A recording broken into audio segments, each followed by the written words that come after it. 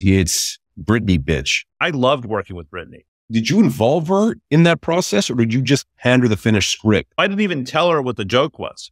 I handed her the script she performed at the table read on Wednesday, got huge laughs. The night before, I met with her and said, I write a lot of monologues on the show and I have an idea for one I want to run by you. And it would be to address the fact that people accuse you of lip syncing. Is that okay? She's like, oh, totally. This is a perfect place for me to clear up some crazy, crazy rumors I keep hearing about myself.